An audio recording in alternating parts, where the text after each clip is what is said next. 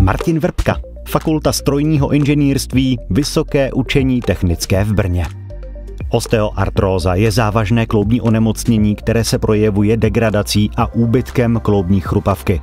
To postupně vede k omezení pohyblivosti a v konečném důsledku až k nutnosti celkové náhrady takto postiženého kloubu. Při snaze prodloužit životnost kloubu se využívá metoda viskosuplementace, která však není vždy prokazatelně účinná. Projekt si dal za cíl ověřit, zda viskosuplementace může účinně pomoci zlepšit pohyblivost a kondici přirozených kloubů.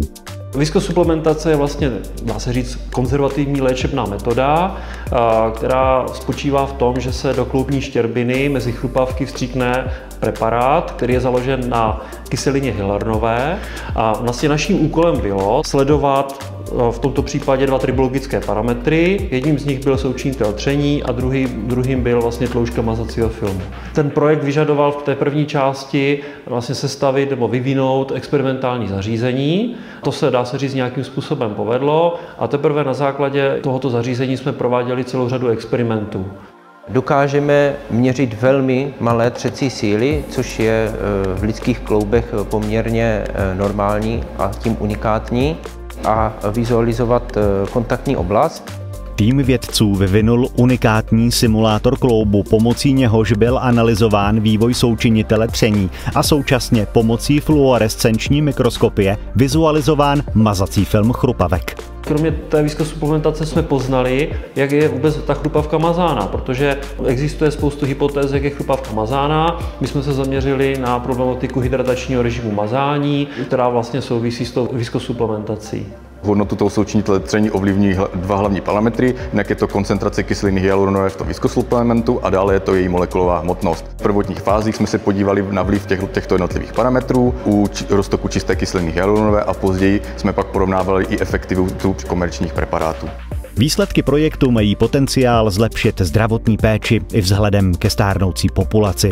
Získaná data tak v klinické praxi pomohou při výběru správného viskosuplementu pro konkrétního pacienta.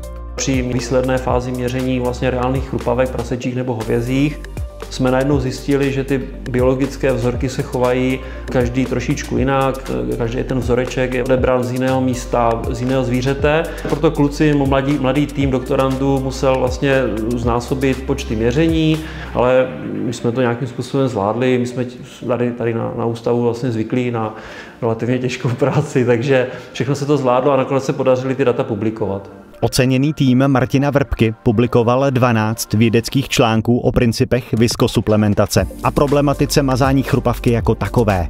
Navíc byly v rámci projektu velice úspěšně obhájeny dvě dizertační práce. Takže za úspěch považuji citovanost jedné naší publikace, která dosáhla 22 eh, citací na Web of Science v poměrně krátké době.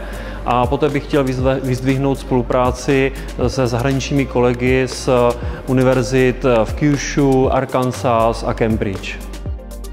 Projekt nejenže pomohl objasnit, jak funguje mazání a viskosuplementace kloubní chrupavky, ale také přinesl nové poznatky, které mohou být nadále využity v lékařském prostředí. Na výzkum už navázala úzká mezinárodní spolupráce s biotechnologickými společnostmi při vývoji dalších speciálních viskosuplementačních přípravků pro bolesti spodních zad. Volný čas určitě musí být a já mám rád fyzické aktivity, takže přes léto, přes léto horské kolo, v zimě běžky, mám rád práci na domě, na zahradě a v posledních letech se zaměřuju na e, užívání si jízdy na, na motocyklech. Je to, je to moc pěkné odreagování a dá se říct, že i při té fyzické aktivitě člověka napadají zajímavé, zajímavé nápady potom, které může využít i vlastně v té, e, v té vědecké práci.